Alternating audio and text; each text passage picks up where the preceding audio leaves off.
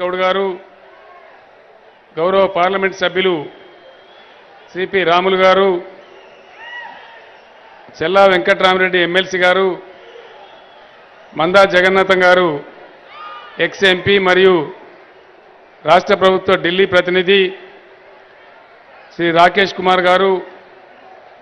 ఇంత విశేషమైన సంఖ్యలో టెంట్ కింద కంటే కూడా టెంట్ బయటనే ఎక్కువ ఉన్నటువంటి సంఖ్యలో హాజరైనటువంటి అన్నదమ్ములకు అక్క చెల్లెలకు అందరికీ నా నమస్కారాలు. దేశ ఈ ప్రపంచంలో ఉండే అష్టాదశ శక్తిపీఠాలలో మన జోగులాంబ తల్లి ఒక శక్తిపీఠం. అందుకే జిల్లా పేరు కూడా మనం జోగులాంబ గద్వాల అని పేరు పెట్టుకున్నాం. జిల్లా పేరు అనుకున్నప్పుడల్లా అమ్మవారిని కూడా స్మరించుకున్నట్టు అవుతుందని ఆ పేరు బాగుంటుందని పెట్టుకున్నాం. గద్వాల చరిత్ర చాలా గొప్పది. ఈ ఈ గద్వాల పేరు గద్వాల ఊరు పేరే బయట ప్రపంచంలో మాట్లాడితే విద్వత్ గద్వాల అని మాట్లాడేది. ప్రసిద్ధిగాంచినటువంటి తిరుపతి వెంకట కవులను ఈ సంస్థానంలో సన్మానించినటువంటి ఘన చరిత్ర ఉన్న గద్వాల ఈ గద్వాల. ఇంతవరకు బాగానే ఉంది. అయితే గద్వాలను గబ్బు పట్టించిన గబ్బు నాయాలు ఎవరు?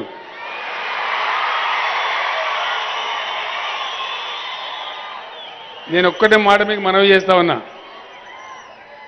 ఎలక్షన్లు అనేటివి వస్తాయి పోతాయి. ఎన్నిసార్లు? జర అందరు వినాలి దయచేసి సీటీలు బంద్ చేయాలి. ఎలక్షన్లు అనేటివి వస్తాయి పోతాయి.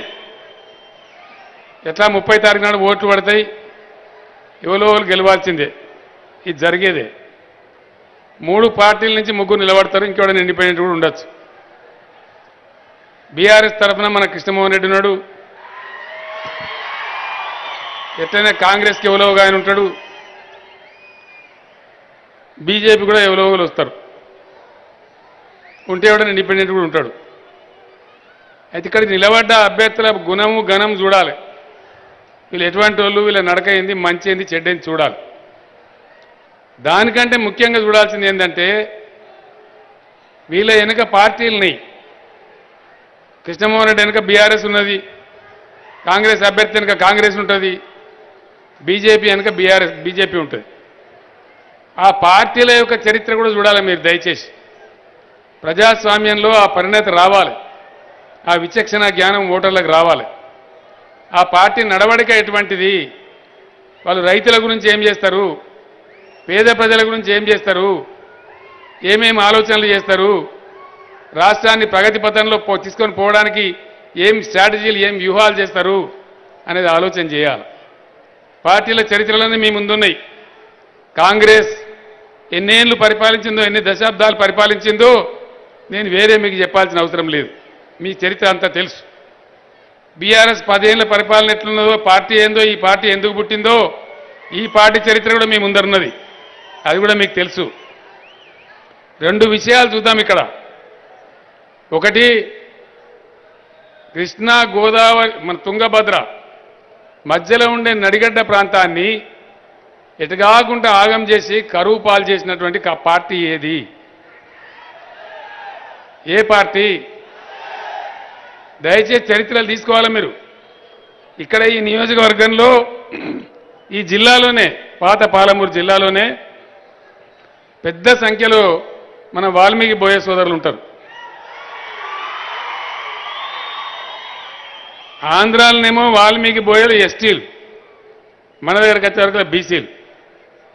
ఇవాళకి ఏడు ఎనిమిది ఏండ్ల అసెంబ్లీలో ఒక్కసారికి రెండుసార్లు తీర్మానం చేసి పంపించినాం. ఈ మోడీ ప్రభుత్వానికి సీమ గుట్టినట్టు కూడా లేదు. ఇక ముందటికి బహుశా యుద్ధం చేయవలసి వస్తుందేమో దీన్ని జడగొట్టినోడెవడు? ఆంధ్రప్రదేశ్ రాష్ట్ర మొదటి ముఖ్యమంత్రి నీలం సంజీవ రెడ్డి ఈ వాల్మీకి బోయల కొప్ప ఊచుకున్నాడు వాళ్ళను ఆంధ్రాలను అక్కడ ఎస్టీలు పెట్టి ఇక్కడ బీసీల కింద పెట్టిందే కాంగ్రెస్ ముఖ్యమంత్రి. వేరే వాళ్ళుగా అది కూడా కాంగ్రెసే. ఆనాడు వాల్మీకి బోయలు ఎట్ల ముంచింది. మీరు తెలుసుకోండి చరిత్ర మీకు తెలుస్తుంది. అట్లనే ఎండబెట్టి పండబెట్టి రెండు నదుల మధ్యలో ఉన్న నడిగడ్డను కూడా ఆగం పట్టించింది. ఆర్డీఎస్ కాలువను ఆగం పట్టించిన పార్టీ ఏది? దివగల చరిత్ర అది. ఆ చరిత్ర కూడా మీ ముందరున్నది. ఆనాడు కరువుతో ఏడిచినాం మనమంతా. ఇక తప్పదురా అని చెప్పి ఏమైనా సరే సచ్చిందొగనాడు బతికిందొగనాడని నేను ఉద్యమం మొదలు పెడితే అయాల పిడికిన మంది ఉన్నప్పటికీ ఒక వెంకట్రాముడి స్టేజ్ మీదనే ఉన్నాడు. ఆనాడు నా వెంట నడిచిండ్రు. ఇక్కడి నుంచి కూడా కొంతమంది నాయకులు ఉండిరి. అందరం కలిసి పులిబిడ్డల్లాగా లేచి కొట్లాడితే రెండు వేల నాలుగులో మంచి తెలంగాణ ఏర్పాటు చేద్దామని మాట ఇచ్చి వచ్చింది కాంగ్రెస్. ఇచ్చిన రామ రెండు వేల నాలుగునే ఇయ్యాలి కదా. మనతో పొత్తు కలిసినందుకు ఈడ గెలిచిండ్రు ఢిల్లీలో గెలిచిండ్రు కేంద్ర ప్రభుత్వం వచ్చింది రాష్ట్ర ప్రభుత్వం వచ్చింది కానీ తెలంగాణ మంచి మాటకి ఇచ్చిండ్రా ఇయ్యలే. ఇయ్యక పొంగ అనేక కథలు పడ్డారు. టీఆర్ఎస్ని సీల్ చేసే ప్రయత్నం చేసిండ్రు. ఎమ్మెల్యేలను కొనుక్కపోయిన ప్రయత్నం చేసిండ్రు. ఉద్యమాన్ని మళ్ళా కూడా మలినం పట్టించే ప్రయత్నం చేసిండ్రు. అదంతా మీ కళ్ళ ముందే జరిగింది మీకు తెలుసు. నిన్న మొన్నటి చరిత్ర.